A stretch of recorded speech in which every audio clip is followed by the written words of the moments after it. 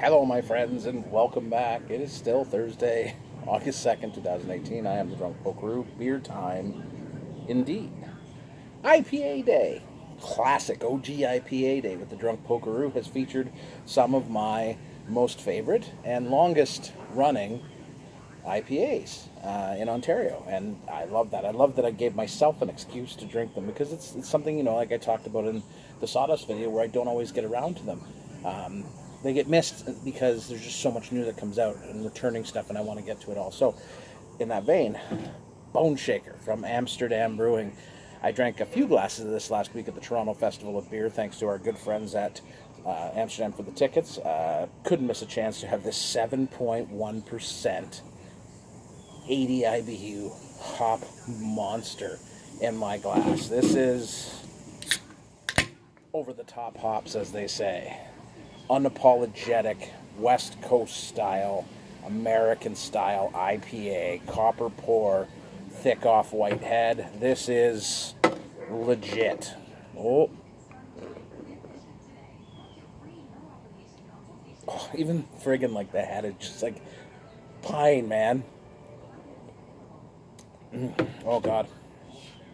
See, sometimes you get too excited.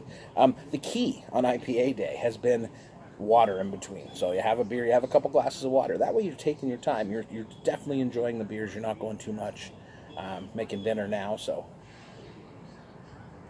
you know, gotta have a beer while you make dinner, while you're barbecuing. The sun has come back out. It's an absolutely beautiful day. Grapefruit, orange. You're getting some of that toasty malt out coming out too. Cheers to Amsterdam for making damn good beer for a hell of a long time. Cheers. Oh, oh, oh,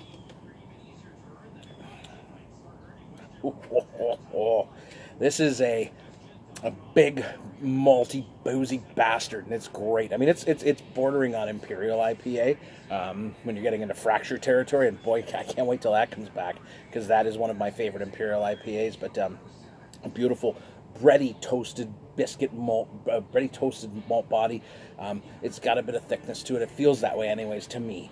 Um, definitely, there is a grapefruit, orange, bitter, citrus rind peel there, and then the resinous piney back end, which is absolutely delightful. It's a beautiful bloody beer, but it's certainly not for the faint of heart. It, it really was the beer that I trained my palate on by eating. Um, different types of citrus to try and see if I could identify things. So it was really uh, this and the other beers we're talking about were the beers that I learned about hops on. And you know, then I was able to expand my palate, which is what a lot of us have done. So it's good to go back and look at them and see how you perceive them now. When I first started trying this one back in 2000, I think it was 15.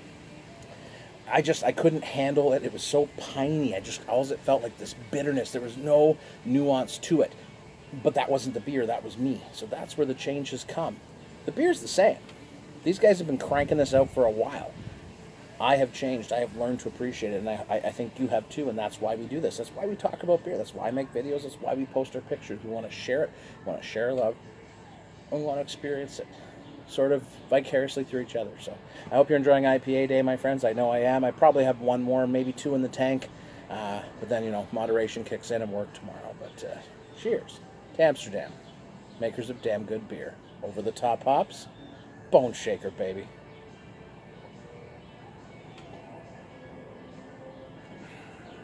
Oh my god. It's like heaven in a glass, man. Heaven in a glass.